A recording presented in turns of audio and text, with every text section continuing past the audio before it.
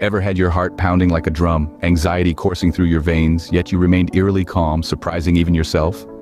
Ever wondered what that feeling was? Welcome, my friends, to the intriguing world of non-reactivity, a trait that makes you as impassive as the calm before a storm. Today we delve into the dark and dangerous world of the Peaky Blinders, where amidst the whirlwind of chaos and danger the man at the helm, the inscrutable Thomas Shelby stands as the epitome of this trait. Who is this man, you ask? Why should you care? Picture it. High-quality visuals reveal a man battle-worn yet dignified, moving with a purpose amidst the chaos, undeterred. He's an enigma, his icy composure disturbingly unnerving to his adversaries, leaving them wondering what his next move will be. This is Thomas Shelby, whose war-torn past haunts him, yet he uses non-reactivity as his most lethal weapon. Intrigued? So let's explore this fascinating concept together and understand why it's so powerful through the life of Tommy Shelby himself. Think about a predator. They're still focused until the moment they strike.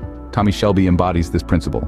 In the chaotic world of Peaky Blinders, he uses stillness as a powerful weapon. It's not just about physical stillness, it's a mental state, a way of being that transcends the chaos around him. His enemies, they're unnerved by this. They're left guessing, questioning what his next move will be. It's like a game of chess and Tommy is always two steps ahead. But this stillness, it's not just about strategy, it's a reflection of who Tommy is. A man haunted by his past, yet fiercely protective of his future. He's learned to harness the power of stillness, to use it to his advantage. Stillness is a powerful tool in Tommy's arsenal, but it's not his only weapon. Tommy isn't emotionless. He's a complex guy, burdened by trauma, yet fiercely protective of his family. So, what's his secret? Well, let's unravel the secrets behind Tommy Shelby's stillness, his non-reactivity in the face of danger. It's a three-part recipe, really, and the first ingredient is mastermind thinking. Tommy's mind is always 10 steps ahead, envisioning every possible outcome. He sees the chessboard of life and knows each move in advance. This foresight, this ability to predict and plan, allows him to remain calm even when life throws curveballs at him. The second secret ingredient is emotional detachment. Now this doesn't mean Tommy doesn't feel, oh, he feels all right. But he has this uncanny ability to separate his feelings from his actions. He doesn't let emotions cloud his judgment or dictate his decisions. He's able to detach, to step back, and see the bigger picture. This makes him a ruthless strategist, a formidable opponent in the gritty world he inhabits. And finally, the third element that fuels Tommy's non-reactivity is his undying ambition. He's driven by a desire for freedom, a thirst for power. He's always climbing, always reaching for the next rung on the ladder. He uses his non-reactivity as a tool, a stepping stone on his path to success. It's his shield in battle, his cloak in the shadows. So, there you have it. The secrets behind Tommy Shelby's stillness, his non-reactivity, are not so secret after all. It's all about forward thinking, emotional detachment, and relentless ambition. But remember, Tommy's world is a dangerous one, and his tactics are born out of necessity. Non-reactivity is both a tool and a shield for Tommy, helping him navigate the treacherous world he lives in. And while we may not live in the same world as Tommy Shelby, there's definitely something to be learned from his icy cool demeanor and non-reactive approach to life. Tommy's story is an incredible example of non-reactivity, but it's important to remember his background. Let's not forget, he was a man bathed in the fires of war and hardened by the harsh realities of life.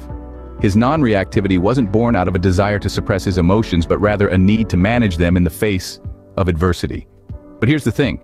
We're not all Tommy Shelby. We haven't all seen the things he has seen, done the things he has done. And that's okay.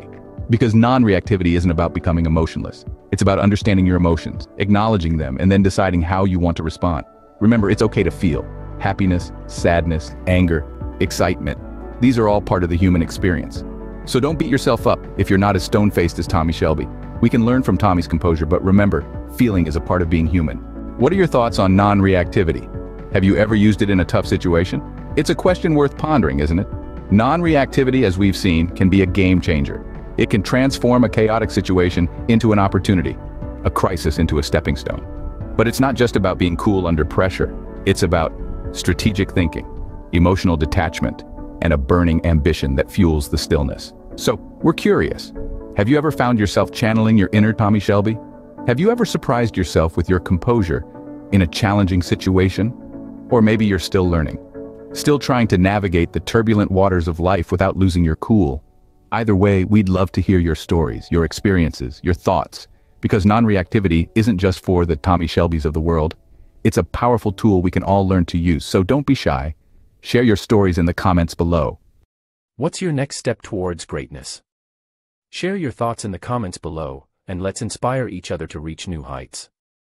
Until next time, keep striving, keep growing, and keep believing in the power of your dreams.